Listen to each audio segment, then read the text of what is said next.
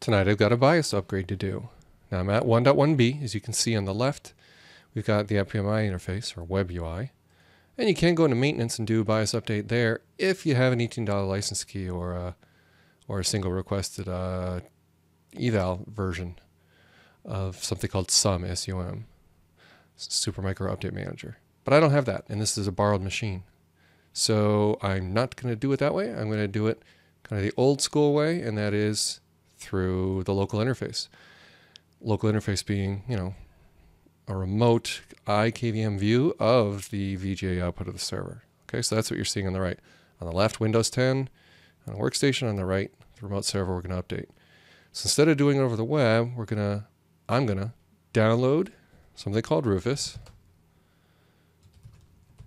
And it's going to prepare the bootable USB media for me. See the screenshot here? That's exactly what we want. Download portable. This USB boot media, we're going to stick DOS in there. And then the BIOS update files, and then boot it from the server on the right. Okay, so that's the basics of what we're going to attempt here. Say yes. Now these defaults, I don't really need it to check for updates. Say no. Notice no install was needed. And by default, we've got the settings we want. Uh, MBR partition scheme for BIOS or UEFI should handle both types. However, for BIOS upgrades, I have found there can be problems if you try to leave it in UEFI mode on the right. So we're going to leave that setting alone, but if you have trouble with UEFI mode, I would suggest you turn off secure boot on a you know, Surface or whatever you have. Go to the BIOS. Um, Surface might have been a bad example, but whatever machine you have, go to legacy mode just to get the DOS booted.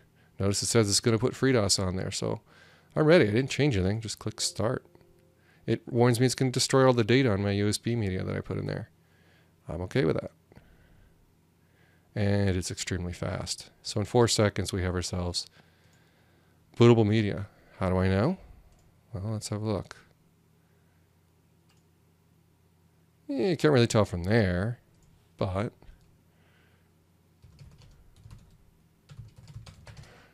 there we go. So those files are hidden. Uh, but that's DOS for you. All right, what else do we need?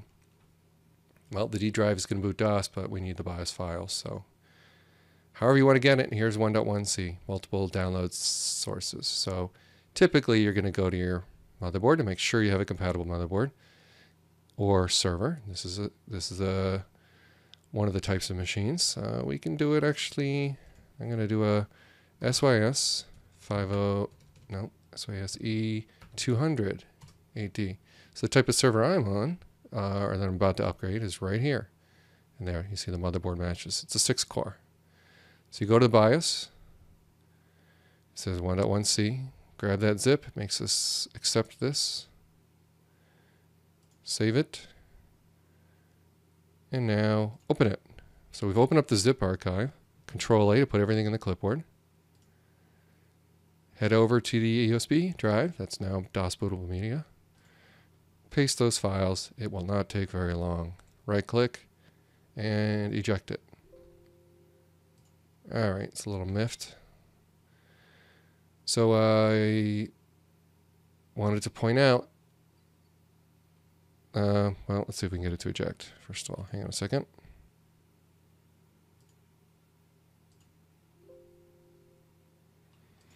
Oh well, you've seen that before. It's obviously done with uh, writes at this point to the USB media. So I'm going to pause the video for a moment because I've got to eject the USB drive from the Windows 10 workstation and put it into the server that's seen on the right here. Be right back. Okay, I'm back. So, boot. I'm in dual mode, but if it was in UEFI mode, and that's how the system might be when it ships to you from, say, as a bundle from Wired Zone or alone um, from Wired Zone, um, it may end up in UEFI mode, which is actually better for Windows uh, 10, well, more important, Windows 20 16 with Hyper-V or VMware ESXi 6.5 or 6.1 or excuse me 6.0, whatever you got. All those are UEFI compatible. Good idea. Two terabyte drive support for boot volumes and all kinds of good stuff. But for booting legacy media like this, you probably want to drop back to dual mode. Okay. Now there is one other save settings and exits. All right, there's one other setting that would be CSM support. So I'll just mention uh, CSM can be right here, compatibility support module.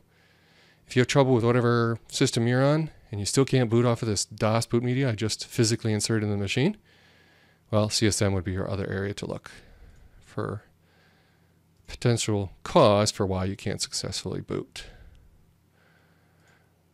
All right, so I got to get ready on the right here to hit F11 for Supermicro.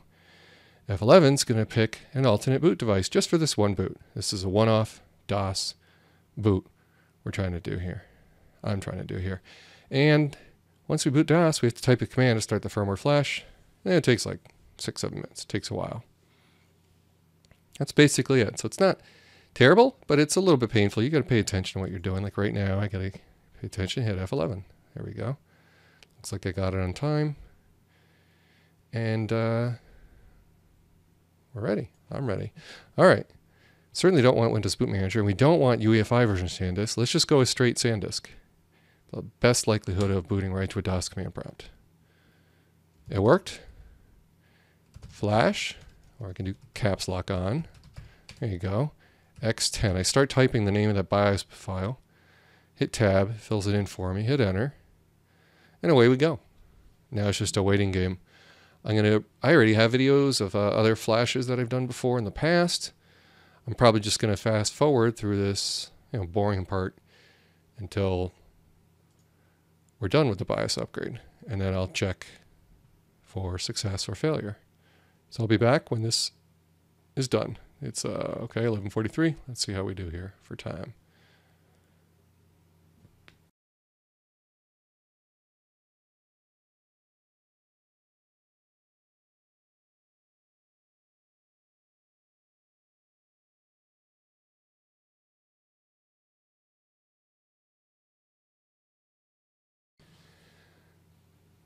Okay, so you'll notice it's very clear. System must power off to have the changes take effect. I talked about that in my other uh, video when you do this over IPMI. In a lights out data center a distant data center where you don't have physical access, you're going to want to do it over the web UI. But today I'm trying to show you when you have local USB media, right?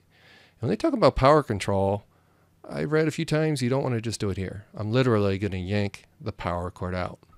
So I'll be right back after yanking the power cord out, and I'll be taking the USB media out because I'm done with that as well. I'll be right back. And yeah, it took about, uh, was it six minutes or so? All right, I removed the power cord for about 15 seconds, plugged it back in. Naturally, this is a frozen screen. It's not going to do much good because the machine was unplugged, meaning IPMI also went off. All right. This screen, if I hit refresh, is going to fail as well because the machine's still booting. But when it springs back, we should see a new BIOS version here on the web UI. And of course, booting the machine on the right, we should see a BIOS version as well. So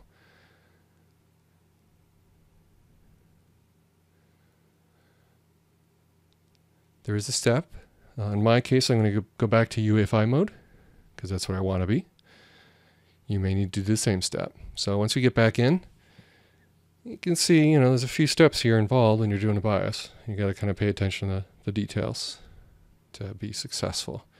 It's not really hard, but a little bit time consuming, and a little bit finicky about how you go about doing it. So I'm back in shortly. Now I'm back in. Here we go.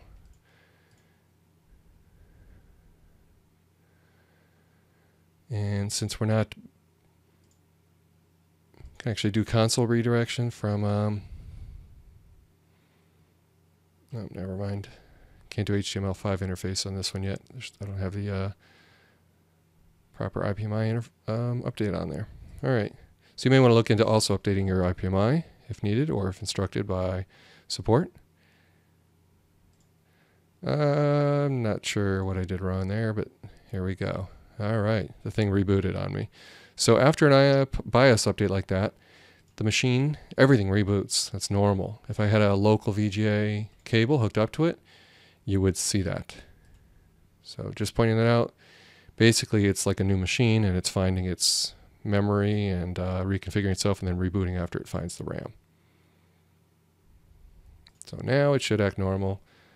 I get right back in to here and I'm ready to hit the delete key to get in to reconfigure the BIOS back to UEFI mode, and then go back to whatever operating system I had. And on this particular uh, test machine, I believe that was Windows Server 2016. All right, so I'm in the home stretch. Almost done with this whole procedure. Notice on the left, I'll point with the mouse, 1.1c. So we succeeded at getting done what I wanted to get done. Now it's a matter of seeing if we get the machine back to where it came from. Entering setup. So the very beginning of the video, I had shown you where you change modes. I was in UEFI just before record the video, and I'm just trying to simply return there. Back to UEFI. F4, save and exit, say yes.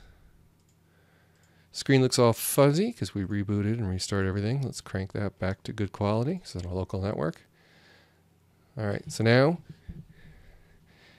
in 30 seconds or so, when the BIOS is done booting, we should see my operating system come up. Whatever was on there, like I said. Now, the alternative is this way. You know, how to upgrade Supermicro Xeon D over web UI. Again, that's out there. I think it's a little less safe, meaning you better have a robust network connection and you don't want it to go down in the middle.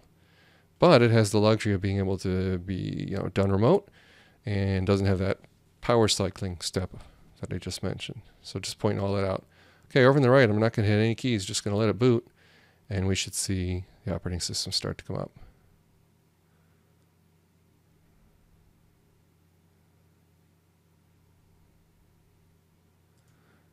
I may have nuked the drives. Oh, there we go. Windows. Automatic repair. Yeah, I moved some drives around earlier. So that's it. Hopefully you found this video helpful. Thanks for watching and for visiting tinkertry.com.